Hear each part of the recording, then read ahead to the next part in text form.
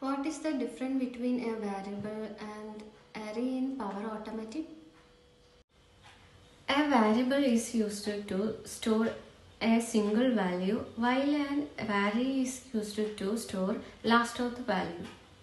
What are the different types of triggers available in Power Automatic?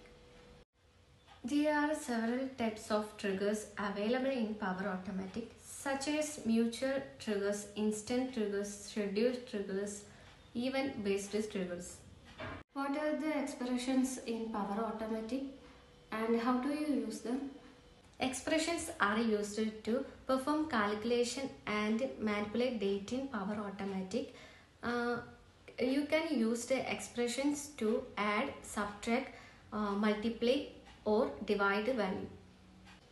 How do you handling error in Power Automatic?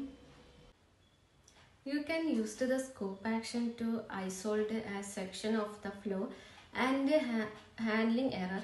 That may be cases within that section. You can also use the terminate action to stop flow if you critical error cases.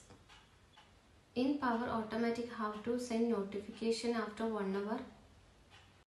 To send notification after one hour in Power Automatic, can you use the delay action to waiting for one hour before sending the notification? One more thing, Onetidbit provided training both in English and Telugu language also.